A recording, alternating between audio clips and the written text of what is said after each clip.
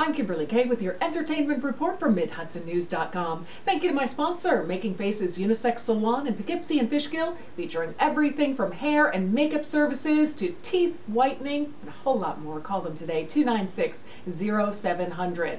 Well, every time American Idol fans tune in, they're seeing the hottest woman in the world, according to People magazine. And every time Idol fans tune in right here to MidHudsonNews.com, they're seeing the second hottest woman in the world. All right. Jennifer Lopez has been named People's World's Most Beautiful Woman. And Lopez says real beauty comes from inside. And she has a lot of love in her life because of her babies and, of course, husband Marc Anthony. Ryan Seacrest kept making fun of Lopez on Idol for her new status, putting a spotlight on her from time to time. Beyonce, Mandy Moore, Jennifer Hudson, and Jessica Simpson also makes the list. Well, Jennifer Lopez didn't want to see the two remaining girls voted off American Idol. She was reluctant even to criticize Haley Reinhart and Lauren Alaina. Every finalist eliminated this season so far has been a female. JLo told Haley that she doesn't want any of the girls to go home. Steven Tyler liked Haley's version of Call Me, but probably even more her short skirt. The judges kept the censors busy on the last show, too. Both Tyler and JLo were beeped, but there are now just seven remaining contestants as, are you ready? Paul was sent home. And you know what? I was ready for him to go home. Well, Carrie Underwood said she likes the new Randy Jackson. Underwood says Jackson is a little more honest, a little more blunt since he's taken over Simon's chair. She also confesses she's charmed by Steven Tyler. She says he's much more warm and caring than she expected this rocker guy to be. As for Jennifer Lopez, Underwood says she's gorgeous and week to week she's more and more opinionated. Underwood commented while promoting her new movie debut, Soul Surfer. So American Idol is denying the claims of a 19-year-old woman who said she wasn't allowed to sit in the front row on Thursday's show because she's too fat.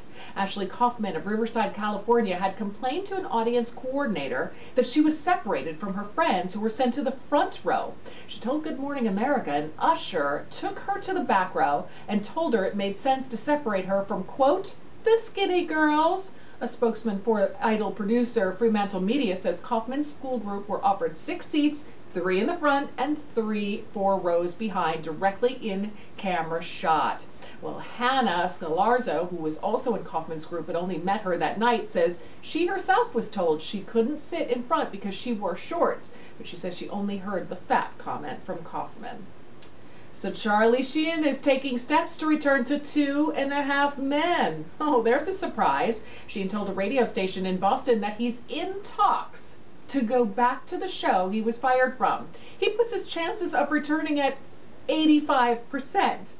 He also says he's not getting the profits from the show's syndication deal that he claims he's due. He says that's part of the $100 million lawsuit against Warner Brothers Television and the show's producer. Well, here's some very sad news. ABC is canceling the soap opera All My Children and One Life to Live both programs that have been on the network's daytime lineup for more than 40 years. The move leaves just General Hospital as ABC's only daytime drama. ABC's daytime department president Brian Frons said that viewers are looking for different types of programming these days, and soap operas have slowly been fading as a TV force, with many of the women who made up the target audience now in the workforce. ABC will air two new shows, one about food and the other about lifestyle transformations. But ABC did not immediately say when the soap operas would go off the air. I think that's sad. End of an era. Well, in local entertainment news, there are still tickets left. Don't miss Songs for a New World, a musical theater piece for our time. That's tonight and Saturday night at 8 p.m. at the High Meadow Performing Arts Center in Stone Ridge. And all the money raised from this musical theater performance will benefit Hope's Fund. Call 331 4199 extension 3 or visit hopesfund.org. Thank you to my sponsor, Making Faces Unisex Salon in Poughkeepsie and Fishkill. They make a beautiful line of mineral makeup that I'm wearing. Avas Cosmetics, I love it. Check them out online, Avas. That's A-V-A-S Cosmetics.net.